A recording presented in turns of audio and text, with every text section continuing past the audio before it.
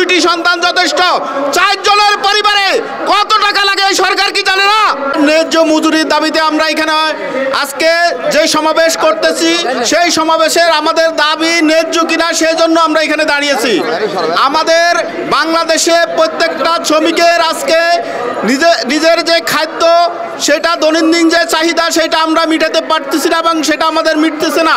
সেই জন্য আজকে আমাদের প্রত্যেকটা শ্রমিককে আমাদের এই আন্দোলনে এই এই আমাদের এই সংগ্রামে অংশগ্রহণ করতে হবে। আমাদের আজকে প্রত্যেকটা শ্রমিকের আমাদের যে জীবন উষ্ঠাগত সেইখানে আমাদেরকে সংগ্রাম ছাড়া এই আমাদের ন্যায্য পঁচিশ হাজার টাকা যে দাবি সেটা আমরা আদায় করতে পারব না। কারণ সরকার যেভাবে তাদের প্রয়োজন মতো তাদের নির্দিষ্ট করা যে শ্রমিক সংগঠন, তাদেরকে দিয়ে তারা যে ন্যায্য- মজুরি কাঠামো সেটা নির্ধারণের যে পায় তারা করতেছে সেই পায় তারা আমরা কখনো সফলতা দিব না।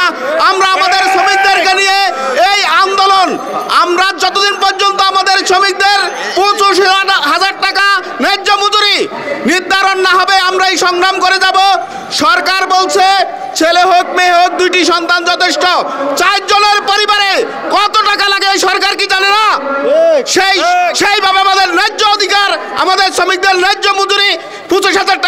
নির্ধারণ করতে হবে। এ না হলে এই সংগ্রাম আমরা আরও সম্প্রসারণ করে এই সরকারের কান পর্যন্ত বোঝানোর ব্যবস্থা করব।